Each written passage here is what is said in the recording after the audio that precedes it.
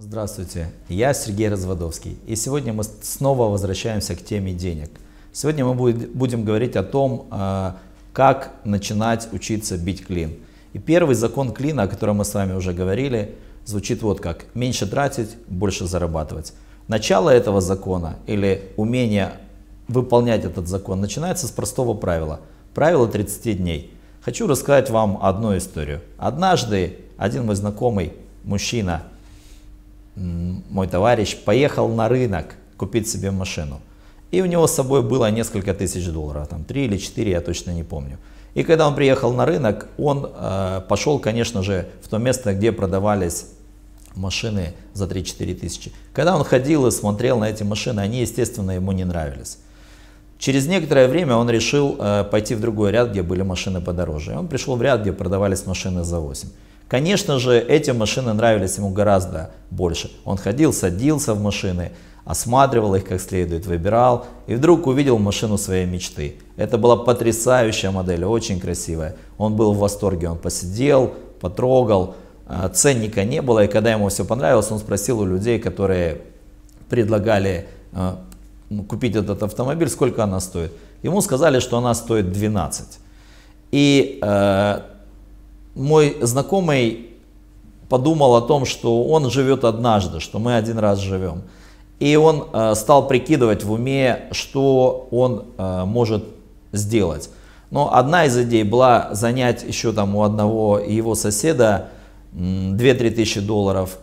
Второе, он хотел занять у тещи тысячу, потом он вспомнил, что у него есть э, семейный, семейная фамильная реликвия, орден дедушки. Он подумал, что можно сдать его в ломбард. И совсем недавно его родители хотели продать половину дома, чтобы помочь ему финансово. И он подумал, что какую-то часть с денег, которые будут выручены за половину дома, он тоже может взять для того, чтобы заплатить за эту машину. Очень часто с нами происходят подобные истории. Нам предлагают какие-то выгодные сделки, какие-то сверхвозможности, когда у нас не хватает собственного ресурса.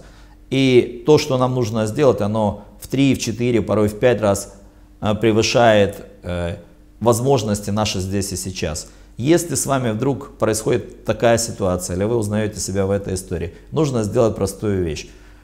Вступает правило 30 дней. Первое, что вам нужно сделать – а, подумать о том, что вы примете окончательное решение через 30 дней. Второе, пойти домой. И вот что с вами произойдет.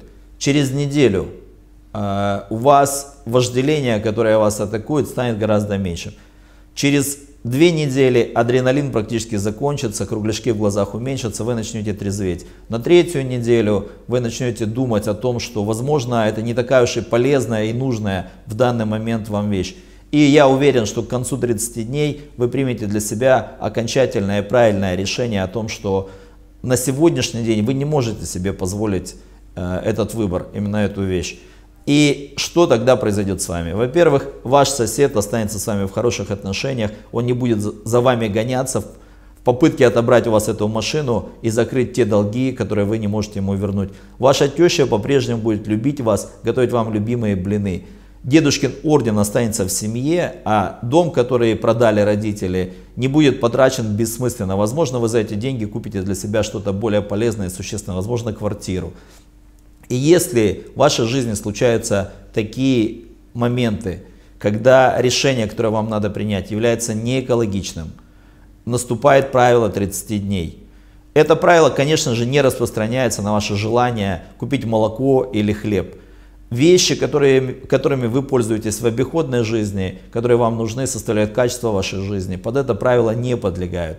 Но если то решение, которое вам нужно принять, может нанести ущерб вашим родным, близким, разрушить э, на ближайшие несколько лет ваш мир, вашу мирную жизнь, ваш сон, ваш отдых, возможно, вам нужно остановиться и использовать правило 30 дней. И э, для того, чтобы пользоваться им более полноценно, разберемся еще в понятии экологичность, о котором поговорим на следующем занятии. Большое спасибо, что вы слушали меня сейчас. Я ваш друг Сергей.